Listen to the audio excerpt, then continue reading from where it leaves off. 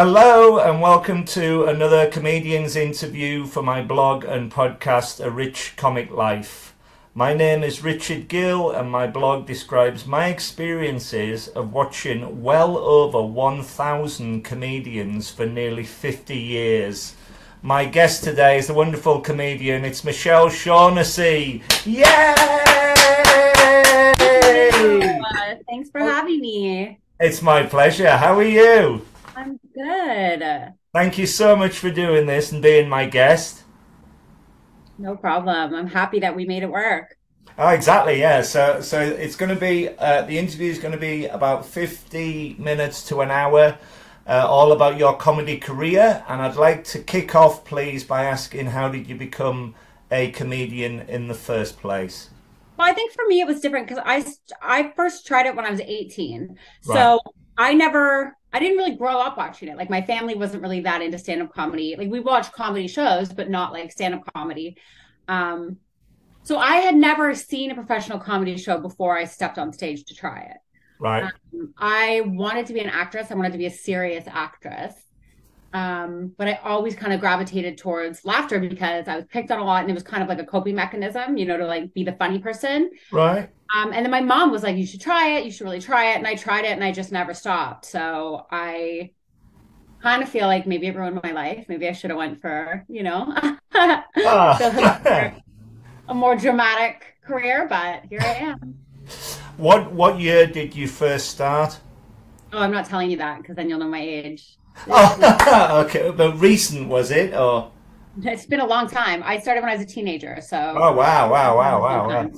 Um, and uh, when you first started, was it in? Did did you do like five minute slots in pubs and bring friends along, or how how? Yeah.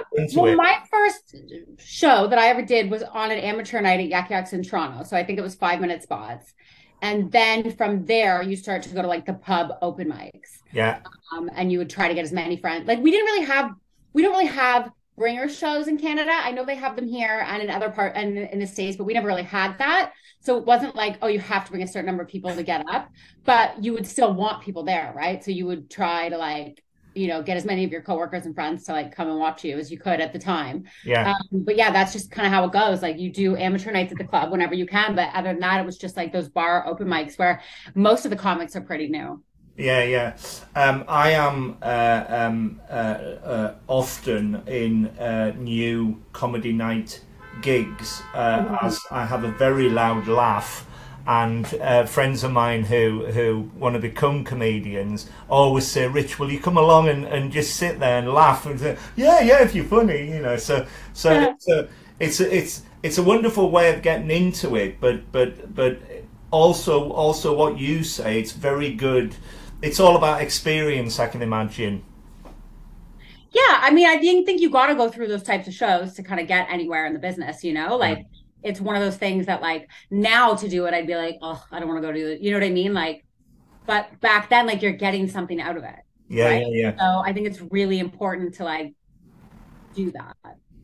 So, so what was your first ever gig like? Where, where was it, and what was it like? Like the first time I was on stage. Yeah.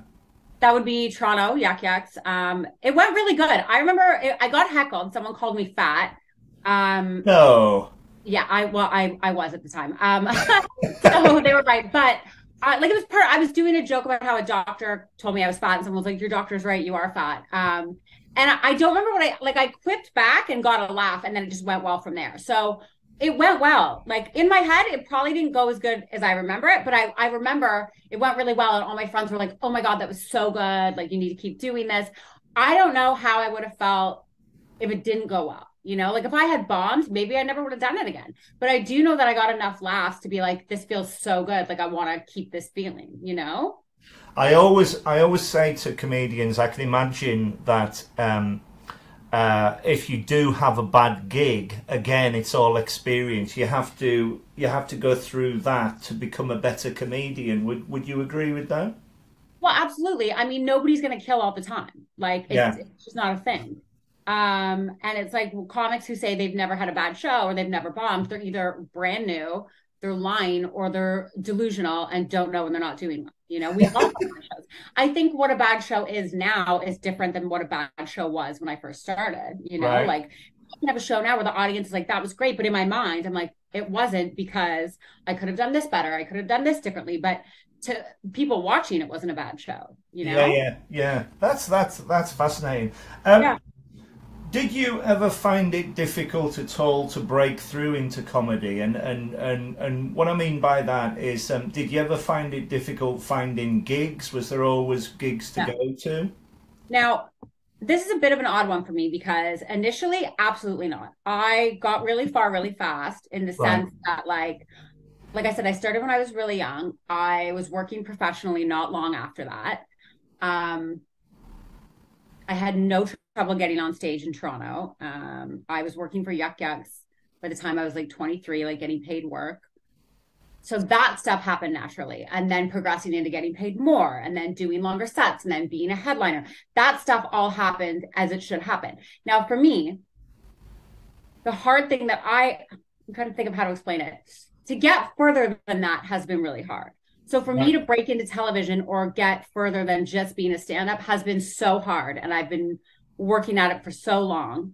Um, so that's where I kind of hit a wall, if that makes sense, where everything happened fast, fast, fast, fast, fast, and then just like stopped. So that's kind of like where I would say breaking into it has been hard for me, getting further than I am. And, you know, I talk to like some comics, and there's comics who are newer and they're like, yeah, but I would love to be doing what you're doing. So I try to remind myself of that, you know, that there's people who would love to just be a professional comedian and have this be their only job. So I am grateful for that.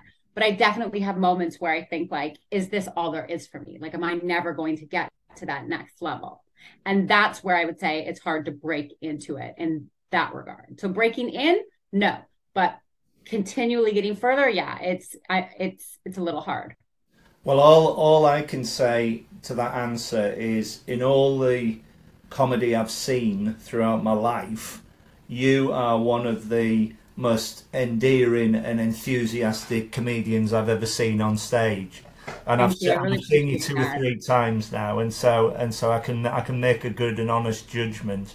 Uh, you're you're you're very endearing. So so in other words, I mean, if you uh, take the microphone, you're determined to make that audience laugh, get them on your side, and say whatever you like to them.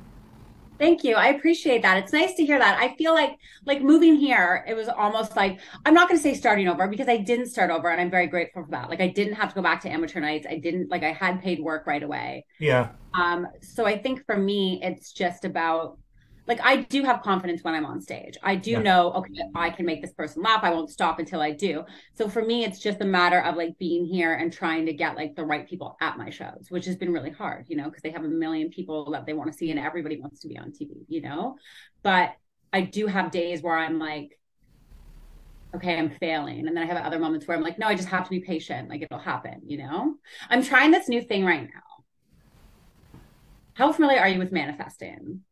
How familiar am I with manifestation, like manifesting your dreams? Uh, well, I have dreams, yeah.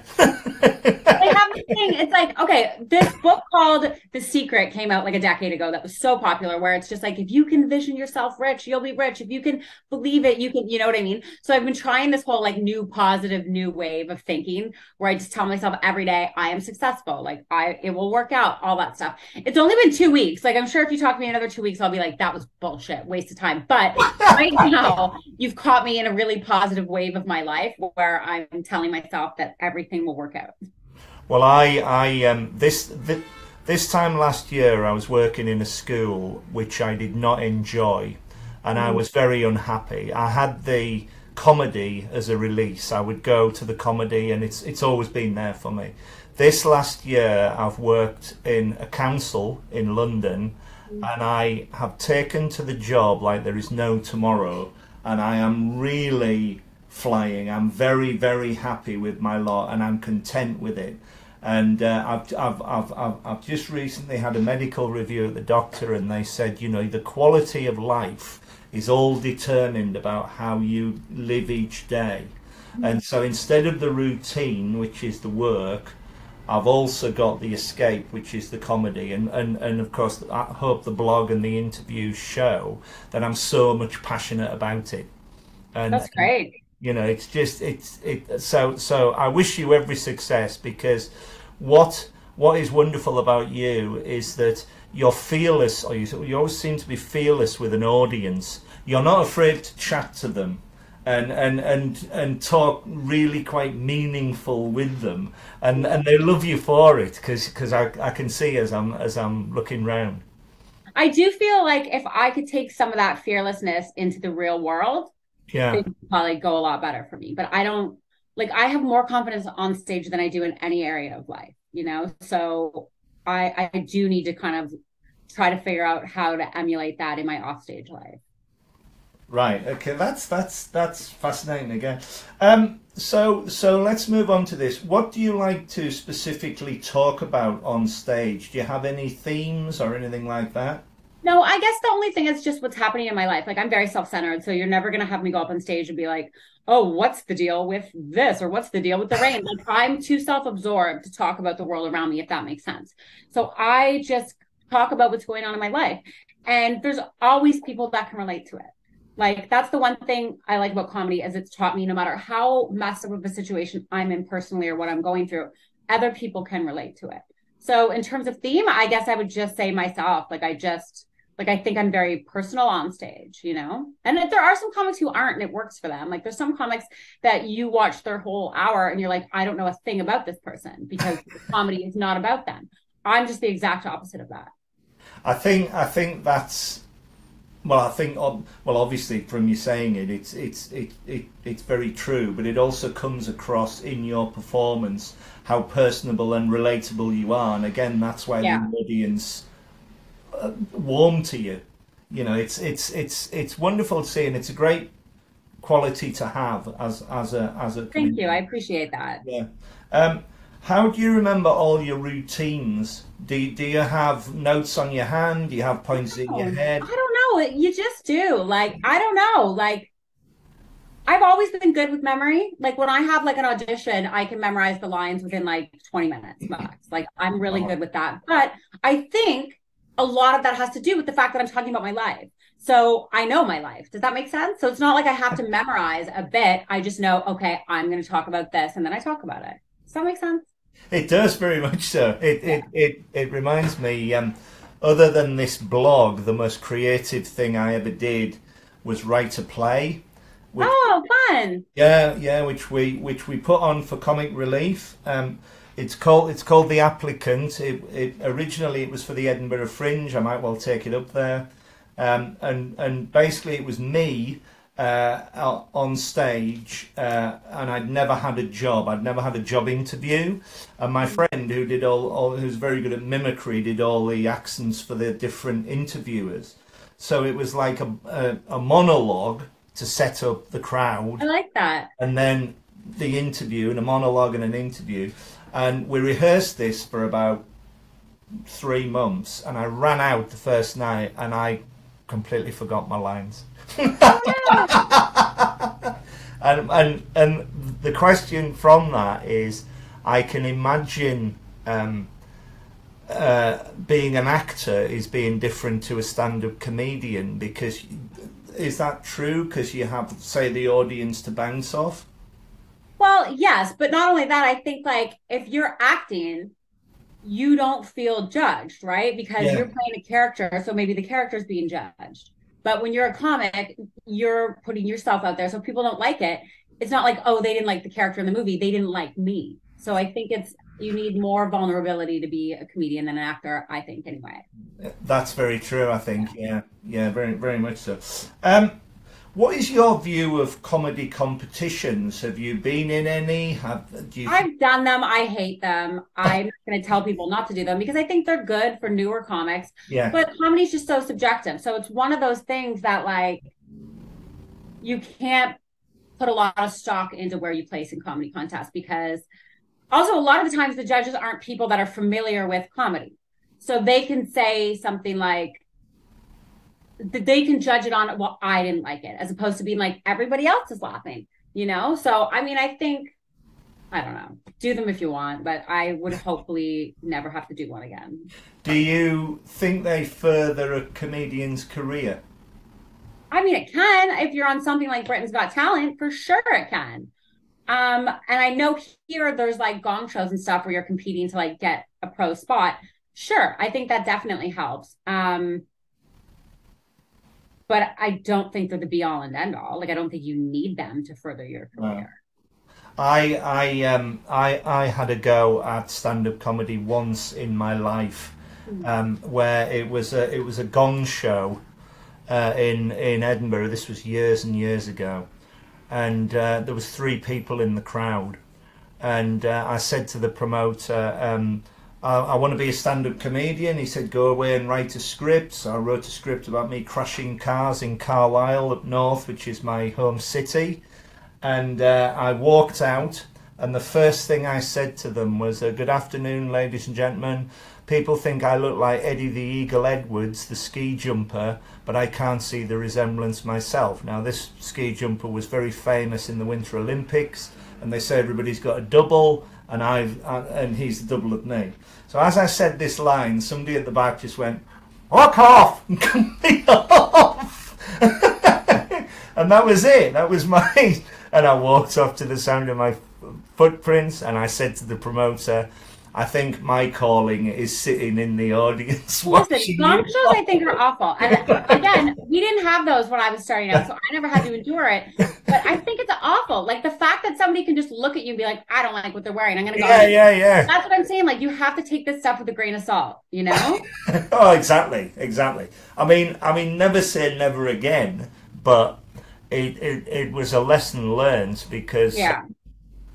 now I'm very good at, um, uh, excuse me, I'm very good at, at organising comedy bills for friends. I'm very good at um, deciding what they might like and what they not might like for someone who, for for for somebody who's not into comedy or anything. And normally they come back and say, "Rich, that was fantastic," you know. So. Um, so I've learnt a lot from watching you all, but actually having a go was a bit, was a bit daunting. um, do you suffer from any nerves before you go on stage? And if so, how do you cope with them? I mean, a little, but not really. Like it's not like I get freaked out. Like I know I'll do a good job. I get nervous if it's like if there's somebody there watching me, or if it's for like an industry thing, or like if the audience looks wasted, things like that. But not really. Like I don't get like those like jitters, you know. Like I know some comics need to sit by themselves and prepare, and I did for like Edinburgh because that's an hour and it was like out of my wheelhouse of experience. But for just a regular like club spot, not really like. I mean, a little bit. I think it's good to get nervous a little bit, but I don't have like anxiety. Like I have anxiety about everything else in life. I get nervous about everything. Having to make a phone call, having to meet somebody for the first time, having to go into a building by myself. That to me, I get nervous about. Like I, I guess it goes back to what I was saying earlier. Like the version of me on stage, I wish that I could be like that in everyday life.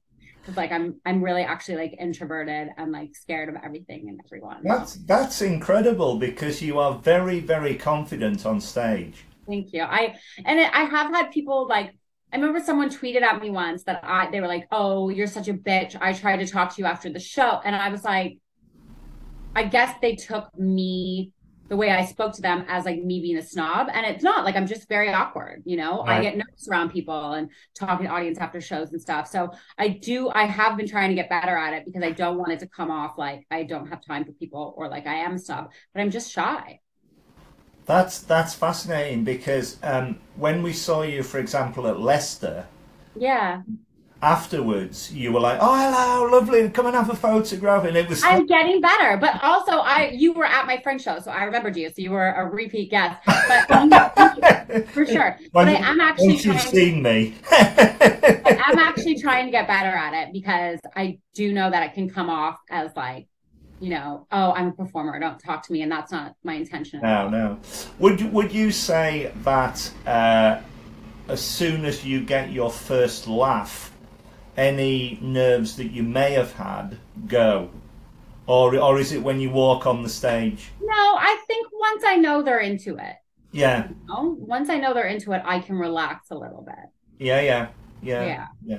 Yeah. Um, okay, let's let's move on to Edinburgh itself. Um, I I'm very fortunate to be able to go to the Edinburgh Festival every year, and it's my holiday. I see about fifty shows. I absolutely love it. Um, can you tell me about your first experience of the Edinburgh Fringe? You, did you go up as a punter? Uh, um, No, the first time was when you saw me. All right. That's the only time I've ever been. Um, What did you think of it? It's fine. A lot of work, a lot of money.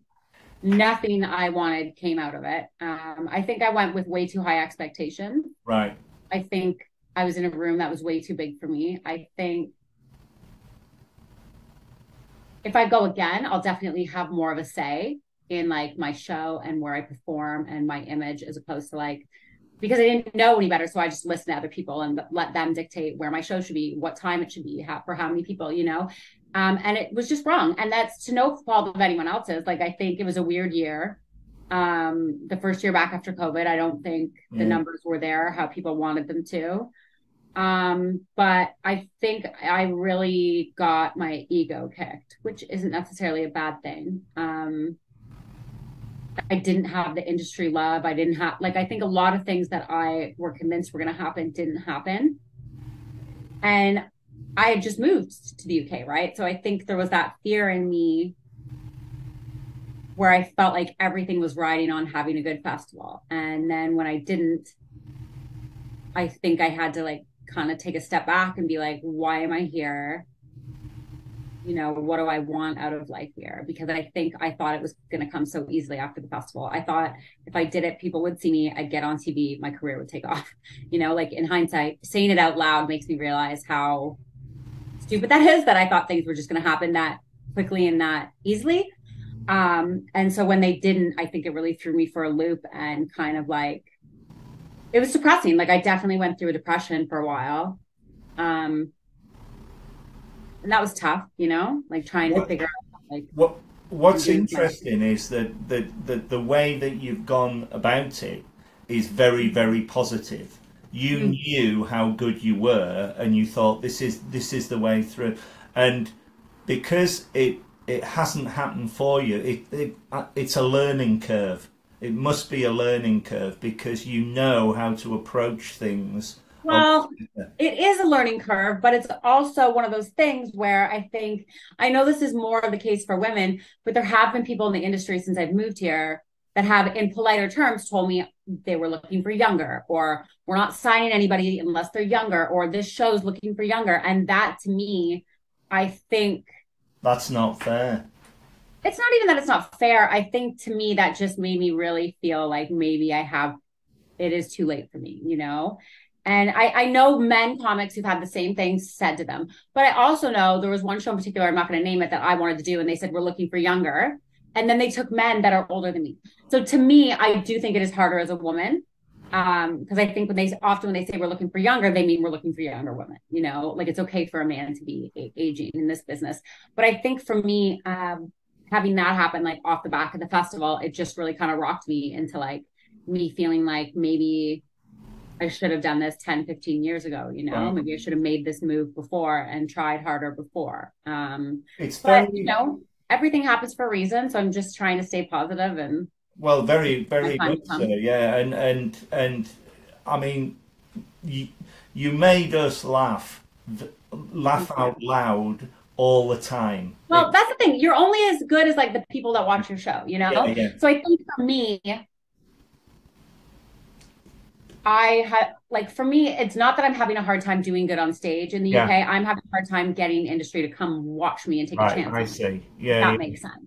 So I think that is frustrating because I know if I could just get the people there, everything will be okay, you know, but I have not been able to do that. And it's frustrating. It's hard to move from a country where you could just email a production company or email, email a producer and be like, hey, what's up? Like, come down to my show and getting responses to like moving to a place where I don't know anybody. They don't know me. They get 5,000 emails a day, you know, and I don't have an agent. So I think trying to navigate everything has just been really eye opening and really, I've had to become a lot stronger as a person. Yeah, yeah, yeah. Um, uh, I was I was going to say when when you came over from Canada to Britain, did you have any comedy friends at all? Did you know any comedians?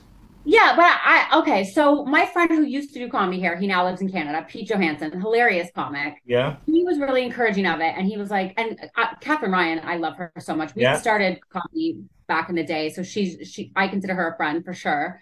Um, so I had people being like, "You got to come here. There's a lot of work. Like you would do great here." And also, I had an agent when I first got here. Like, so I got hooked up with an agent before I even got here. So I had paid work set up, which was great. I'm so grateful to that that I had that. Um, so that's what made me kind of like take the leap and be like, okay, like, because I was originally just going to come for Fringe. Um, and I'm glad I didn't because if I had just come for Fringe, I would have been like, that was awful. I'm never going back, you know? So I'm glad that I really kind of committed here because now I just, there's kind of no going back, you know? Like yeah, I, yeah. yeah. my life over here. Um, so I had a few friends like Bobby Mair and like I said, Katherine and um, Alison Smith in Manchester. Yeah. But I don't get to see them a lot. Like they're so busy, you know? So I have kind of been on my own. Um, but I did know people here who were doing really well for themselves. Have you been to any uh, festivals other than Edinburgh? Like fringe festivals, you mean? Yeah. So like Leicester no. or Hastings. Leicester. But we don't really have like, no, I haven't. No. So where I'm from, we have Fringe festivals, but nobody does comedy at them. It's not like that. It's just like right. plays and stuff, right? So this whole world of like Fringe and festivals is very new to me. Oh, I did I, I did the Brighton Fringe last year before um I went to Scotland. Um yeah. and then Leicester, and then that's about it. Yeah, yeah, yeah. What did you think of those? Did, did, did were they good experiences? I love them because there's no pressure. There's nothing yeah. riding on it. It's not like Edinburgh where you have to fill a big room and you're hoping somebody will come in and write you a good review. So I loved them because there was no pressure. Like it was just me being myself for an hour, and I really liked that. Are you, are you going to the Fringe this year? No. No. No, I don't have anything to say. I um I feel like I would just be going just to go, and that's not a good place to be in artistically. So I think I'll go back when I have something artistically in me that I need to get out. But I think for me, the best thing to do is to focus on getting the next steps in my career here. And I don't think you need to go to the festival to do that anymore. Well, please, please, please keep going because you're a great comedian. You. you. really are. You, you, you, you, we were we were blown away by you on stage. Absolutely brilliant. Um, so, uh, who are your favourite comedians, past and present? You know, that's a tough one for me because it changes all the time. I think for me, one of my favorite, the favorite comics to watch are just who I'm working with, you know? Um, because I think it's great to see, especially since relocating to the UK, because there's so much talent here. So much talent. There's so um, many of them. so many, or you know, and even like there's just too many to name. Like there's so many. So I think for me, I try to like really pay attention to like the comics I'm on the shows with because it's all new to me. I don't know their stuff. And I just think the talent here is unmatchable. And there's so many different types of comics here that we just don't really have there. Like there's a lot more character comedy here, which people back home would kind of roll their eyes at. Like that's not really a thing that's done. Um, a lot more musical comedy here, which I think is great. Like there's a lot more just different types here, and I love it. And there's so many funny women here. Oh, so, without a doubt. Yeah, yeah, yeah, yeah, yeah, yeah. The, yeah, the women are better than the men. I would say. I agree. I agree. Absolutely. Like my first few weeks here, like what my first show in London was Old Rope at the Comedy Store. Tiff Stevenson put me on. I didn't know her, and I think there was like three other girls. There was so many women on the show, and I remember being like, yeah. "This, this is amazing," you know? Incredible. It, yeah, it, and it kind of blew me away. And then like I remember going, she set up like a lunch like the next day. She was like, You're new in town, let's go for lunch. I'll introduce you to people. And she brought like so many funny women. And it was just such a good time. And I remember thinking, like, this is great. This is so great to just be in a place where like it's not like you're on a show with them and they're like, oh, it's a woman's night or a lady show. No, they just happen to be female and they just happen to all be on the bill and they happen to all be fantastic. If if you're funny, you're funny. Yeah. Regardless. It's as simple as that. Um uh have you done any compering at comedy gigs? Have you done any? Not here, but in Canada, I did a lot of it. So in Canada, it's a bit different. They all the comperes are very experienced comics. I think it's kind of like that here, but I know in America, when you're new, you host. But I did a lot of it in Canada. I haven't had the opportunity to do it here. Um, also, I gotta be honest with you, in Canada, you get paid more to host, so there's an incentive. but here, everybody on the show is making the exact same money, whether you're closing, opening, or hosting. Why wouldn't you want to open and do your 20 exactly. to out of there? You know, so because because yeah. my my next question was, do you prefer compering no. them to a solo routine? No, I don't. No. No. Some comedians do. You know what? I did. No, I mean, definitely depends on the gig. Yeah. Um, I do like compering because I can talk to the audience and I love talking to the audience. But again, there's just not the incentive here to want to do it like financially. Like there just yeah. isn't. Like back home, you're making like at least a hundred bucks more to host, right? So here it's like, no, I'll just go first and go home early. If I would say to you, what would what is your comedy ambition? What would your answer be? What would you like stability. to get out of doing it? I want stability. I want to be making enough that I don't have to worry, you know? Like I do fine. I don't have another job, but I would like to like have savings, you know? Yeah, yeah. Like, if like something happened to me and I couldn't work for four months, I'd be okay. Um, I don't want fame. I don't think I would do well with it. I don't think I have a thick enough skin, but I would like, I would like to get as far as I can get with sliding under the radar fame. Do you know what I mean? Yeah, like, yeah, yeah. I'd like yeah. people to know who I am, maybe have like a following, but I don't want that like paparazzi hiding in bushes type fame or being. Ri- I don't want that at all. Yeah, well, but I think for me, stability would be the first step. That would be my first goal, and I think after that, like I definitely want to expand my horizons. I want to get on TV. I want to produce TV shows. I'd love to like write for for TV shows. Like I'd love to kind of like not just be in stand-up comedy. And I think I think that's been hard for me here because I haven't booked an acting job since I've been here. I haven't written on anything. And like back home, like I didn't do a lot of it. We don't have a lot of it, but I did do it. Right. So I think it's been hard for me to like kind of come back to just being a stand up again. So, uh, would you say you would love to write sitcoms or be yeah. shows or something like yeah. that? Because it... my I, my ideal goal would be to have a chat show one day. I love, yeah. as you saw, like I love talking to people. Yeah, yeah, yeah. I you would be superb. I, yeah, and I think really I'm good at getting people to open up. Yeah. So I think long short term goal is just to have some stability in my life. Long term goal would be to have a chat show, like a comedy chat show. That's that's fantastic. Well, I wish you every success. Thank I think I I can't think of anybody better to do it. genuinely. Thank you. I, I really think, appreciate I, that. I think I think you would be superb. Um, uh, again, when we've seen you live, what is what is wonderful if you talk to someone in the audience, you will ask as far as you can with them. You're not afraid to ask questions to them. And yeah, and I think people like that. And I also want people to be comfortable with me. I don't want to be mean. Like obviously. I'll take the piss out of someone in like a jokey manner, but I'm not going to insult somebody to the point that like like I know I've seen it. I've seen some comedians do it and they do it well. But as an audience member, I wouldn't want that done to me. You no. know, I wouldn't want to be made to feel awkward. Um, so I want to do it in a kind way. Like I don't ever want to make people feel uncomfortable. And if there's somebody that I can tell they don't want to be talked to, I'll drop it. I'll move on. But I do think if you ask enough questions, you can generally get people to open up in a way that they're going to enjoy the experience. That's that's that's a wonderful answer because for years and years I would sit either at the back of an audience or midway through yeah. And uh, I went to, I go to a, a, comedy club called Always Be Comedy a lot.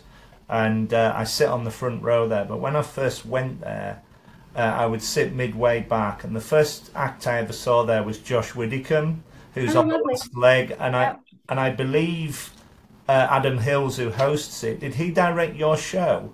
Yes, he did. Yeah, there you go. So, so, so, um, Josh Widdicombe was on stage, and I, I, and I and my laugh, I was laughing away, and he sort of like double backed, and then the next time I sat at the front, and I became part of the act, and the confidence I got from sitting in the front row is sky high.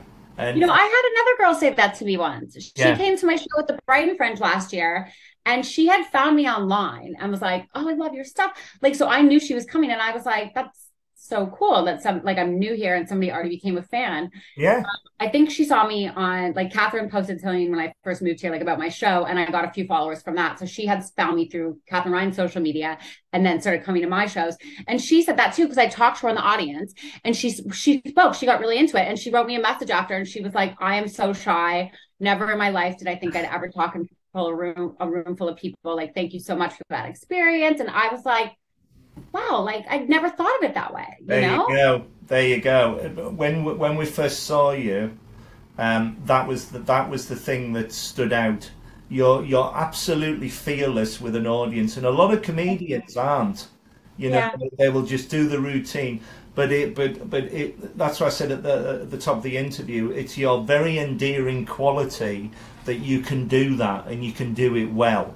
So Thank you. I please, please, that. please don't give up. Also, I'll have to check out Always Be Comedy. I've never performed there yet. Yeah, well, um, uh, I'll see you on the front row if you're there. Yeah. um, like me, do you go to a lot of comedy gigs No. as a member of the audience? No. If I'm not on a show, I'm not going. I spend enough of my life in comedy. And you know what? I have a hard time paying attention to things. And also for me, if I'm watching comedy, it puts me in work mode. A lot of people don't understand that. Like, even when I'm with a friend and they're like, oh, I want to watch this comedy special on Netflix, that's not relaxing for me. It puts me in work mode where I'm like, okay, like, how did they come up with that? What if they did it this way? Why didn't I think of that? So it doesn't relax me. Like, it puts me in work mode. And I don't laugh out loud a lot. For me, when I think something's funny, I'll go, oh, that's funny. Like, I don't laugh out loud at stand up. so it's the complete opposite of me. Yeah. Yeah, exactly. um, if you're on, I think you've answered this. If if you're on a comedy bill, would you stay and watch the other acts? Depends. if I'm at like like I did the comedy store la- the weekend before last weekend, I think, and I made sure to watch everyone. Like I didn't stay Yeah. every single night, but I definitely stayed to watch everyone at some point. Um, if I'm working with like people I haven't seen, I definitely try. But there are some nights that I'm there to try new material and it's such a long show. Shows here are longer. Like in North America, we don't have breaks. So the show's 90 Oh, minutes in and out. Yeah, So for here, sometimes the show's like three hours. I don't have time for that. yeah, yeah, yeah. I will try. I will try to make an effort, but no, sometimes I don't. Um, but if it's some someone I haven't seen or somewhere someone I think I can learn from, then I absolutely will. Or any any show at the comedy store because the comics are always great. I, f- I first went to the comedy store in 1988. I'd just come down to London, and um, on the bill was um, Phil Jupitus, uh, Richard Morton, Linda Smith, God bless her, and top of the bill was a, a, a comedian called Charles Fleischer, an American comic who was a very visual comic and he was never heard of again because he went to Hollywood and he, uh, became the voice of Roger Rabbit, the Steven Spielberg film. Oh yeah. and I thought this is incredible, and what a venue! I mean, it is, it's it's like Buckingham Palace where where the, I love it. That I get nervous at the comedy store. I get nervous at the comedy store because I'm so scared to mess it up and have them not book me again. Do you know what I mean? Like because it's my favorite place I've ever performed. The energy is electric. The talent is unmatchable. So I get nervous there. Like I watch. They record it all, so I'll watch my tapes back and be like, "Oh my god, like I don't think it went that well. Are they gonna have me back? Are they gonna like?" I get really nervous about that venue because I love it so much, and I'm so scared to mess it up. um, you're you're okay playing loads of other venues. You you you don't mind where you play.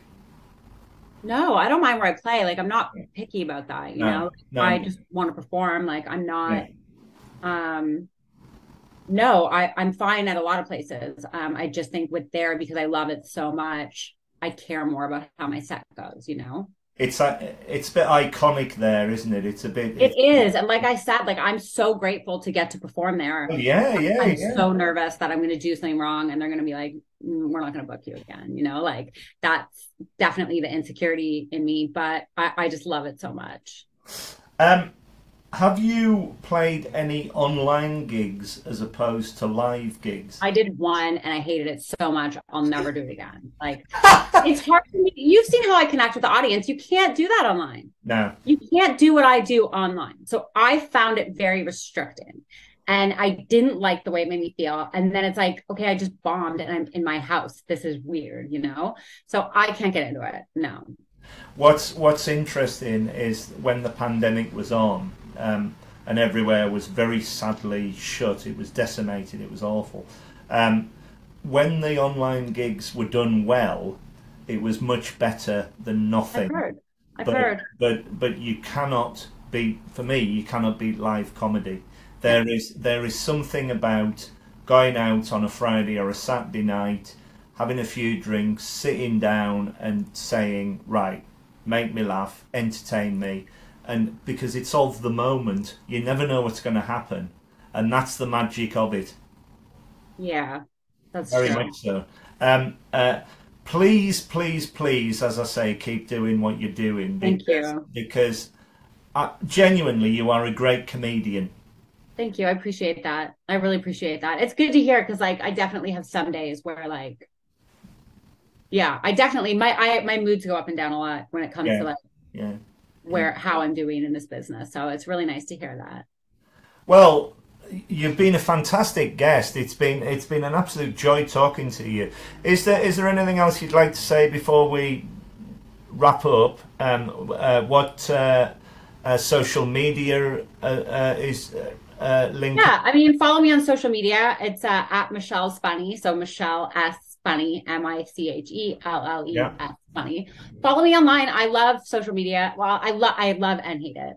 I'd like to get famous enough to not need it. That's the level of fame. But I, um, yeah, follow me online. And like, I really like when people reach out to me online after shows. I love that. I love that so much. And I find that that happens a lot more here than it did in Canada because I think there's a different level of respect for comedy here. Um, so Yeah. please follow me online. Feel free to send me a message. Like, I, I love interacting with like people that like what I do. I think I think uh, the I think certainly comedy in Britain there is much more of a community, as you say. Yeah, Yeah. we don't have that. Like, I think where I'm from, Toronto's great. I'm not going to say it's not. There's a lot of stage time, but the people aren't. When you ask somebody, what are you going to see? Oh, I, I'm going to this comedy club. I'm going to that. They don't know the names of the people. It's not like here where people are like, I saw you here. I liked it. So I'm going to follow Yeah. you. I'm going to Yeah, follow yeah. you online. I'm going to become a fan. It's like the people there aren't really necessarily becoming fans of the comic. They're becoming yeah. fans of like the club, if that makes sense. And Very it's no so. fault of anybody else's. It's just the way the industry is there. We don't have the same level of love or respect for it that they do in Britain. Like it's just insane, and I love it so much. Well, it's why my blog and podcast exist because Yeah, I don't think I don't think uh, uh, it's ever uh, been done from an audience point of view, where where where you sit there and things happen and you're there on the night and you can describe what goes on and and it's it's fascinating how it how it's taken off just from a humble a fan like myself. that's great. um, do you have any podcasts or anything like that? No, I'm going to start a podcast soon. I've been saying this for months, but I keep changing my mind of what it's going to be about. And I keep like paying to like have the logo done and the title. And then I'm like, mm, I don't want to do that. Like, because my moods go all over the place. So if I'm depressed, I'm like, I'm going to do one about depression. And then if I'm having a great day, I'm going to be like, I'm going to do one about how wonderful the universe is. Like, I cannot figure it out. So I think I'm just going to dive into it and figure out what it's about as I go along, if that makes sense, because I love talking. So I feel like I can talk.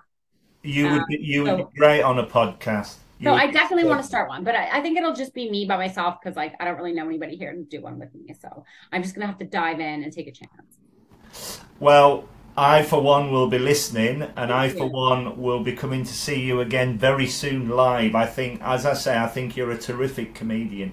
You're so so good with an audience that, as I say, they the, the warmth that you give them, it, they give it back to you.